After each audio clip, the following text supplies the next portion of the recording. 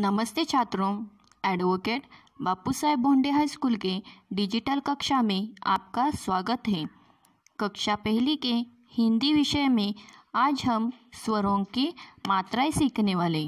मात्राएँ सिर्फ़ स्वरों की होती है, क्योंकि वह स्वतंत्र होती है। आज हम स्वरों की मात्राएँ देखेंगे। अ अ की कोई मात्रा नहीं होती। आ मतलब काना ई, पहली वेलांटी बड़ा ई, दूसरी वेलांटी छोटा ऊ पहला उकार। बड़ा ऊ दूसरा उकार। ए मतलब एक मात्रा। आई दो मात्राएँ ओ, एक काना, एक मात्रा। औ, एक काना, दो मात्राएँ बच्चों, आज के वीडियो में हम मात्राएँ सीखने वाले हैं। स्वर में व्यंजन मिलाने से मात्राएँ बनती हैं। वह किस तरह से बनती है, वह देखेंगे। क व्यंजन में अ स्वर मिलाने से क शब्द बनता है। क व्यंजन में आ स्वर मिलाने से का शब्द बनता है। क व्यंजन में ई स्वर मिलाने से की बनता है। क व्यंजन में बड़ा ई मिलाने से दूसरी वेलांटी वाला की बनता है। क व्यंजन में ऊ मिलाने से कु शब्द बनता है। क व्यंजन में ऊ स्वर मिलाने से दूसरा उकार वाला कु बनता है। क व्यंजन में ए स्वर मिलाने से के शब्द बनता है। क व्यंजन में ऐ स्वर मिलाने से कई शब्द बनता है। क व्यंजन में ओ स्वर मिलाने से को शब्द बनता है। क व्यंजन में औ स्वर मिलाने से कौ शब्द बनता है। क व्यंजन में अम स्वर मिलाने से कम शब्द बनता है। और क व्यंजन में आहा स्वर मिलाने से कहा यह शब्द बनता है। अभी आज के वीडियो में हम अ, आ, ई ई, उ और उ तक की मात्राएँ सीखने वाले। पहले देखेंगे बारह कड़ी में क की मात्राएँ। क, का, की की, कु और कु। अभी यह किस तरह से लिखना है, वह देखेंगे। क क और एक काना। मतलब का?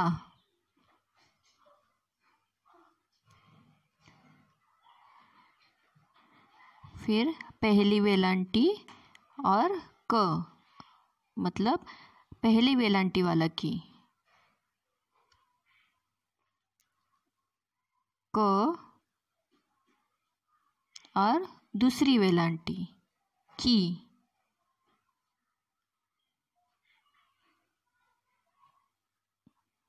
क और पहला उकार, कु।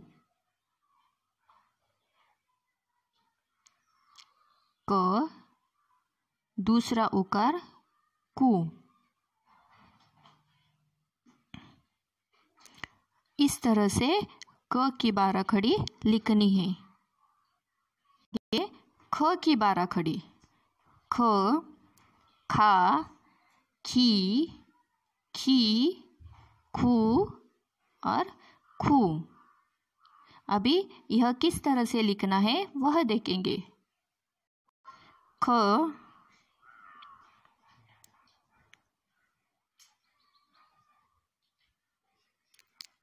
ख और एक काना मतलब खा।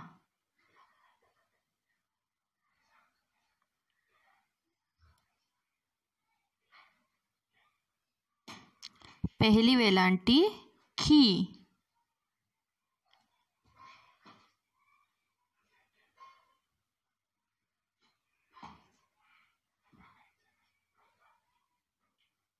दूसरी वेलांटी खी।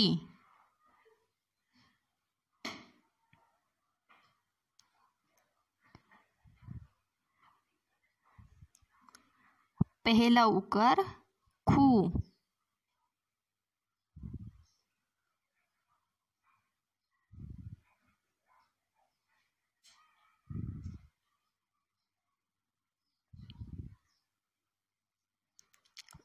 दूसरा उकार खू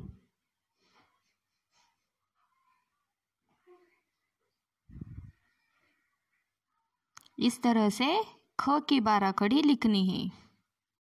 अगली बारह खड़ी है ग की। ग, गा, गी गी, गु और गु। अभी यह किस तरह से लिखना है वह देखेंगे। ग.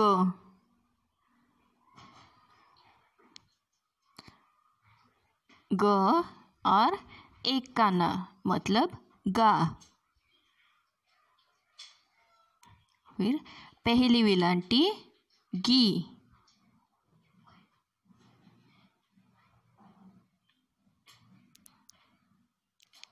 दूसरी वेलांटी गी.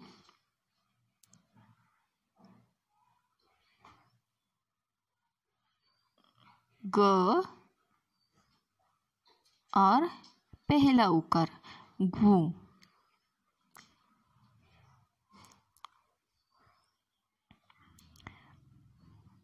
ग दूसरा उकार गु इस तरह से ग की बारह खड़ी लिखनी है। आगे घ की बारह खड़ी घ, घा घी घी, घू और घू। अभी यह किस तरह से लिखना है, वह देखेंगे। घ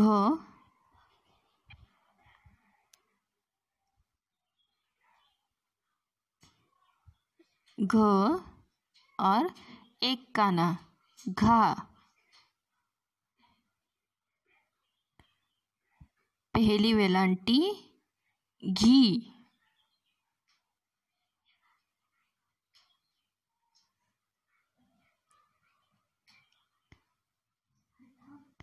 दूसरी वेलांटी घी।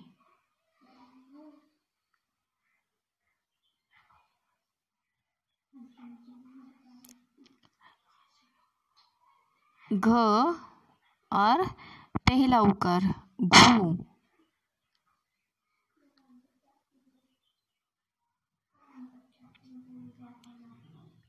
घ, दूसरा उकर घू।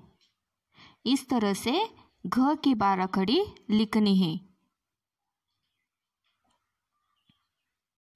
बच्चों, आज के वीडियो में हमने क से कु तक और घ से घू तक की बारह खड़ी किस तरह से लिखना है, वह देखा है।